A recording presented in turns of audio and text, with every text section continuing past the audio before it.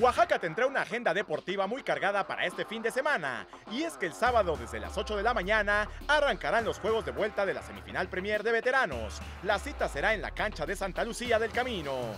Desde las 9 de la mañana se estarán llevando a cabo las finales y los juegos por el tercer lugar de las distintas categorías de la Liga de Béisbol Infantil y Juvenil Monte Albán. Los duelos por el campeonato se realizarán en los diamantes de la Academia de Béisbol Alfredo Harpelú, tanto el sábado como el domingo.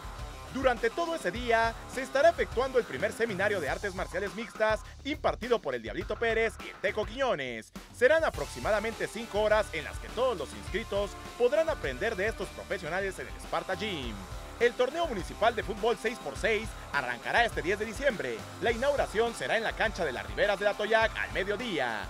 También el sábado se estará desarrollando un torneo de front tenis, esto en las canchas de frontón del Polideportivo Venustiano Carranza. Para el domingo desde las 10 de la mañana se correrá la quinta fecha del Campeonato Prototipos Oaxaca en San Sebastián Teitipac. Para este domingo también habrá actividad en el físico-constructivismo oaxaqueño con el campeón de campeones Mr. Gimnasio de Oaxaca.